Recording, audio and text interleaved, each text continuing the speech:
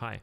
In this video, we're going to take a look at request interception with Playwright, together with some other network manipulation techniques that will enable us to monitor and uh, even modify the traffic as it is happening during our uh, Playwright session. Pause now if you would like more details. Okay, let's go. I have already set up a simple script that is navigating to Etsy.com, dismissing a couple of pop-ups, and searching for a specific product. First off, let's understand where we're at. Let's take a look at how this works before we introduce any request interception.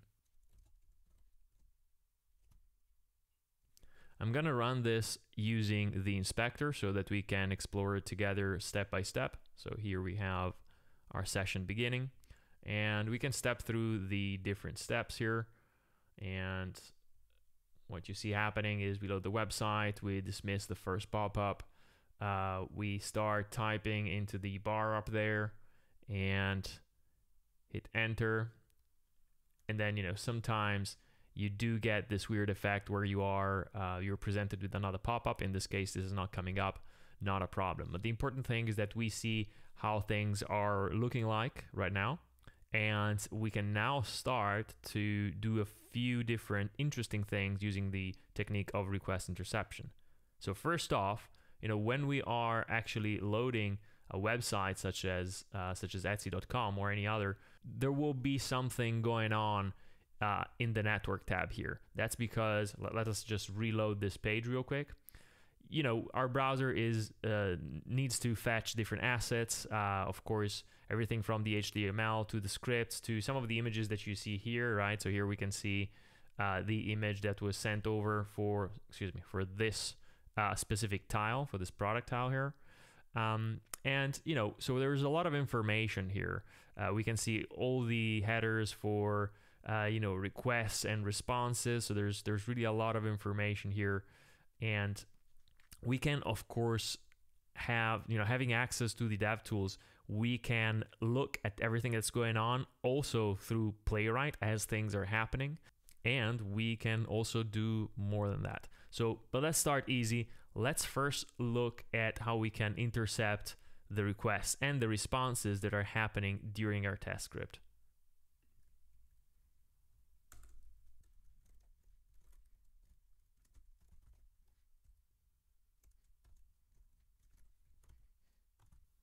One thing that's very important to understand is events. You can start out by looking at how Playwright handles events in case you have had no previous introduction. Uh, what we're doing here is pretty much straight out of the documentation.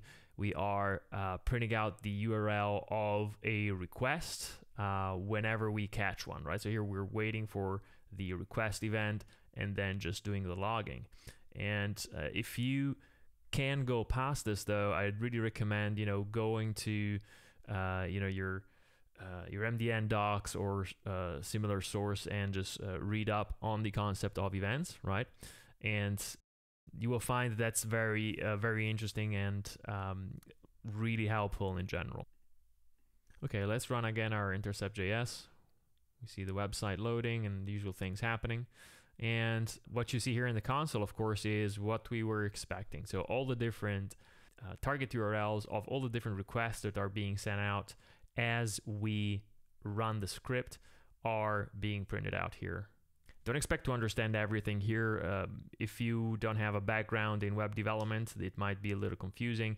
But in general, you can see here um, you can understand a lot just by reading the URL. So you can see that we have some sort of request that is going to a probably some sort of domain that is hosting static assets, right? And we see here these look pretty much. So we see the .jpeg, right? So this is an image file, and we also see uh, what might be the resolution of that specific uh, image, right? So this might be a thumbnail, right?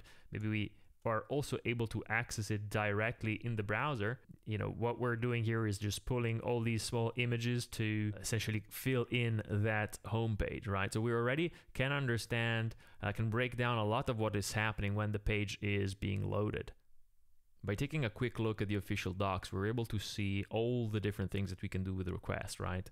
In this case, let's try to extract a little bit more information and enrich the logs that we are printing out right now.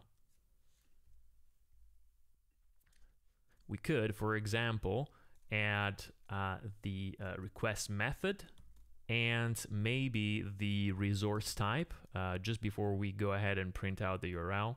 So that will be a resource type, just like that.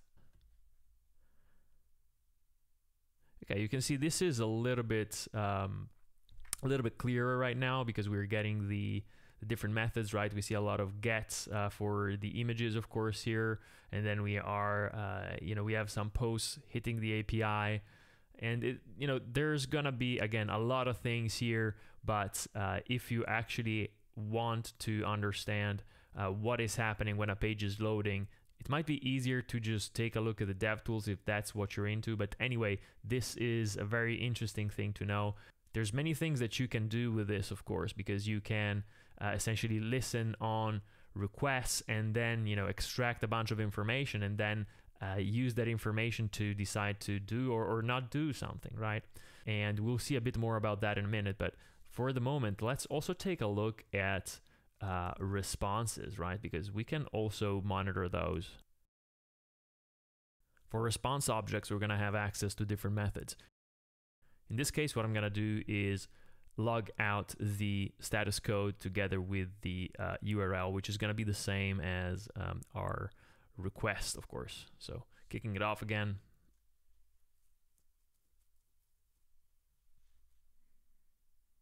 And if I remove this first line, what you can see is actually the uh, kind of like the back and forth that is going on uh, between you know requests um, leaving uh, outbound requests let's say and responses to those requests coming back.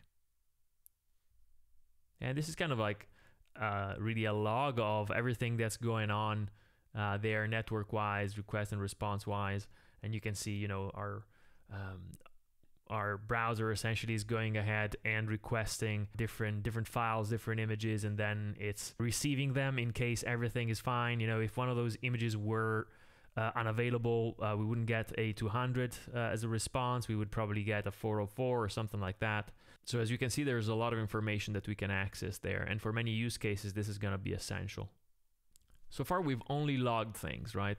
Let's go ahead and do something a little bit more consequential. So in this case, what I want to do is just get rid of my logging here and uh, of my event listeners.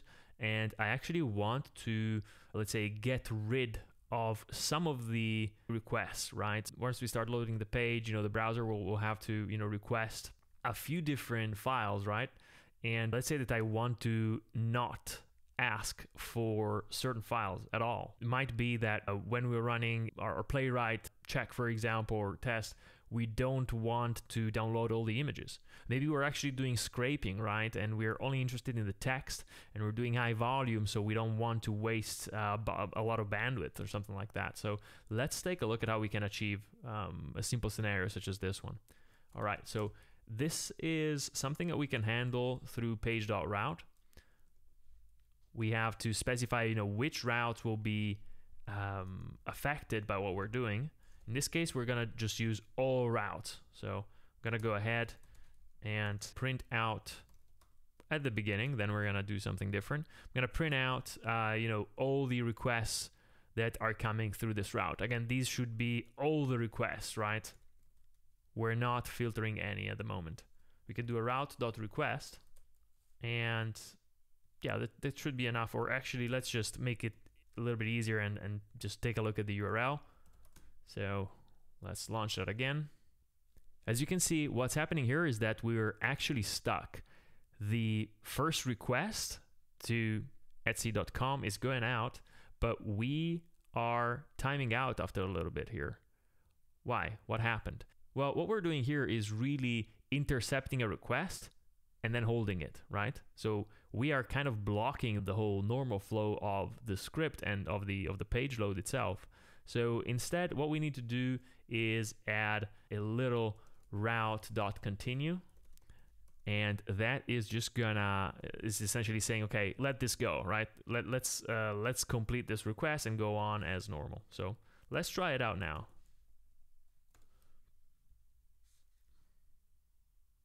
And as you can see here, we're again back to square one in a sense. We're just logging all the different uh, images and so on. But now what we can do is something a little bit more destructive maybe right so what, what we were saying before is we maybe wanted to get rid of um, all image requests right so we've seen a resource type before what we can do is just uh, essentially have a have an if that's saying hey if my requests resource type so we do route dot request dot resource type is image then actually return route dot abort. And if that's not the case then we can actually just do a route dot continue all right let's try that one out but with the inspector so that we can actually see uh, in a clearer fashion you know what's going on so here's the browser and here's the inspector we can go ahead and step through the different instructions.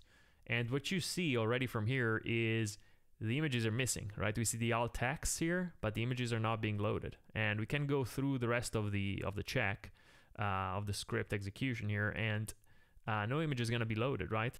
We only have the Etsy logo there because that is probably a different resource type. But as you can see, we essentially went through our script without loading the images. What's also interesting to try out is, for example, getting rid of all the scripts, right? So all the JavaScript here is essentially not going to work. Let's take a look at how that looks like. We load the page and immediately you see that things look not quite as expected. And you can take a look at uh, you know the places where you would find some javascript probably some something a little bit more dynamic. And you can see here for example we have no drop down until we actually end up clicking. You can see a bunch of things are not really loading. And uh, for example, we can try to add something to our liked items and that won't work. So we've essentially sabotaged the website and it only works partially. As you've seen, we can easily control the flow of requests and responses uh, depending on criteria of our choosing. Another thing that is enabled by having so much control over the uh, network exchanges is uh, stubbing. So we can alter the content or, or other properties of a response and use that, uh, for example, in the context of testing. Sometimes this is called mocking. There is there is a subtle difference, I would say, between stubbing and mocking, which does have uh, is not is not inconsequential. It does have its importance, but I'm not gonna dive into that now. I'm gonna leave it aside for this specific video. So let's take a look at how Danube, our demo web shop, looks like right now and how it works. So what I'm doing here is I am pulling up the inspector and we're just waiting and we're just fully loading the page here without any restrictions. And uh, what you can see is we have a bunch of essentially books, uh, a bunch of products here that are loaded together with the homepage. Now, where are those coming from? Are those part of our HTML here initially? Well, actually, no. So let's actually open the network tab here and reload this page. We can see a bunch of things are going on. Now, this is demo website, so there's not a lot of traffic going through. And actually what you can see is that we are querying a backend for those books that you see here. Let's take a look at the first one. Haben oder haben? Well, it's right there, right? And all the other books that you see here on the homepage are also being returned by some sort of backend. And that means if we actually alter the responses here, we can control what happens here on the homepage, what is shown, which products, right? So let's take a look at how we can set that up. What we could do here is essentially take a look at the structure of the information that's being uh, sent back and just copy it for the moment. We can then create an object that maps to that same structure but has different content. We can enter whatever we like here. This is supposed to be an array of objects in this case. What we will do is we will just uh, use an array with one object and uh, we can essentially enter all the details as we like. We have total control over that. Okay, so we have the object created here. Now what we want to do is, again, set up something with page.route that does exactly what we want. In this case, uh, change uh, the, the response for a specific route, right? So let's set that up. await page.route, and then we need the route, right? So we need to actually go back and take a look at our network tab again. We can refresh the page, find the XHR request that we're looking for. In this case, let me make that a little bit bigger. Just switching to the headers tab, we see the request URL, right? This is what we're interested in, and this is what we will be using as our route. So let's copy that. We can paste it in here.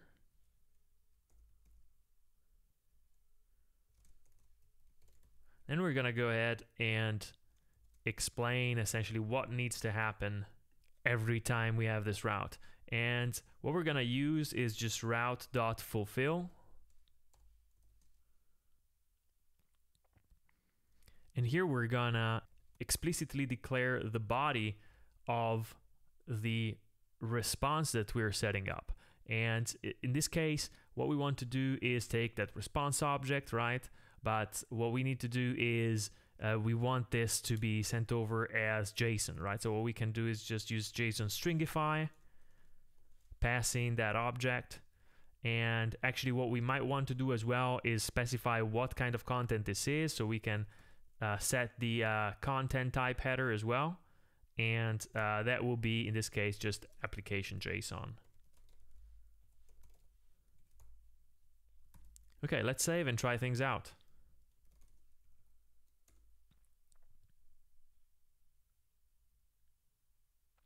As you can see, the website is loading exactly as expected.